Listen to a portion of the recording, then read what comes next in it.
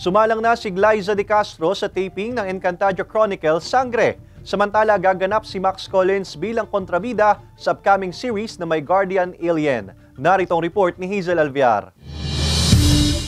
Magbabalik si Glyza De Castro bilang Sangre Prena sa Encantadia Chronicles Sangre. Sumalang na rin ang aktres sa taping at masaya raw siya na muling makatrabaho ang direktor nito na si Mark Reyes. Bukod kay Glyza, magbabalik din sa bigating telefantasya sina Sanya Lopez bilang Danaya, Kylie Padilla bilang Amihan, Gabby Garcia bilang Alena at Rocco Nasino bilang Akil.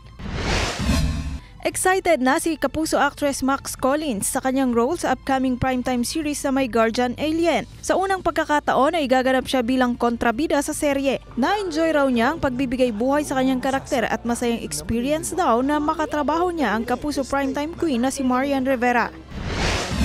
Samantala bilang pagsisimula sa month-long celebration ng All Out Sundays, magkakaroon ng showdown sa Summer Versaya ang Ayos Barkada. Nahati sa apat na team ang mga host na magpe-perform ng production number nila na sila mismo ang nag-choreograph. Abangan yan sa linggo March 17 simula alas 12 ng tanghali. Hazel Alvior, Palitang Southern, Tagalog.